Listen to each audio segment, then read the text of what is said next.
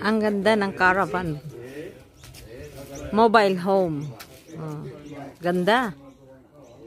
Parang trend sa harap. Ay, likod pala ito.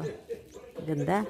No, I've, I've got, I've just sold a, Nita KB1, which is, well, Yan ang likod.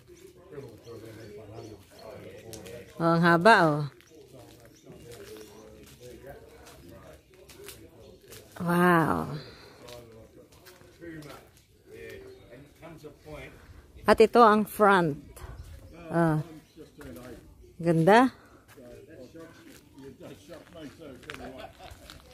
Yes.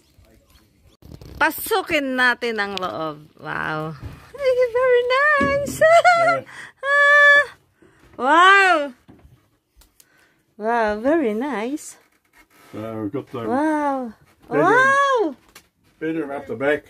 Yeah, Yes, this is the ooh, who built these? What this are is these? the bed. The American design built by Ang Ganda. Jensen in Melbourne. May air conditioning. Wow, nice. Manibela. Oh, ayan. Oh, probably Ang ganda. 8 or 59. Nire-renovate pa. Toilet, yeah, yeah. Oh, awesome. So all Yes, this is very out nice. like this. No, no, no, no. I did all, I did all. Yeah.